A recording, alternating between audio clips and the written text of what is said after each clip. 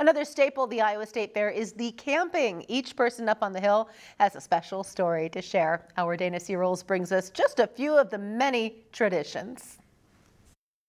The Iowa State Fair Campgrounds is a special place with connections and traditions running deep. Some of those have been around for a while and some of them are new.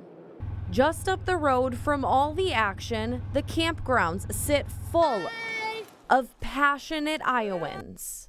But we've been on the fairgrounds since I was probably four years old. so that's a long time. it's a place where traditions are built. This is a good time we all get together because I have 15 grandkids and 15 great grandkids this year.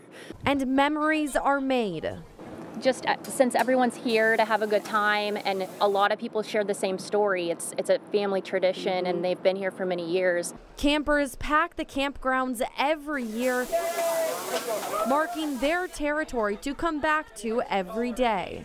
We come in the first day possible. We're here 21 days. It takes the guys about all day on saturday to put the campers in and it's a place for new traditions to spark.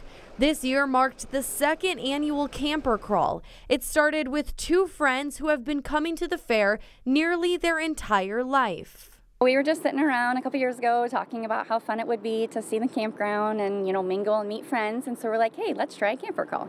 Over 100 people got together to walk around the campground and meet new faces. So it's just really brought the campgrounds together for those of us that have gotten together. And while the fair brings thousands together, it's the memories on the hill that last a lifetime. For my kids to come up here, my older two, they get to play with their cousins and that's what they look forward to is, oh, I get to go play with my cousins tonight. Well, every year I just love going out to the campgrounds. It's my second year out there, and every single time I learn something new. Some of the campers told me that the wait to get a camping spot is 18 years. Wow. So definitely a popular spot to be. It sounds like the place to be. I've loved it every time. Well, I mean, just looking at the energy that everybody has out there, a lot of everyone's like-minded. They're all there for the same reason. You don't find that many places. I have camping envy. Absolutely. Me too. I'm yes. jealous. I'll have to join next year. or in 18, 18 years. years. yes. All right.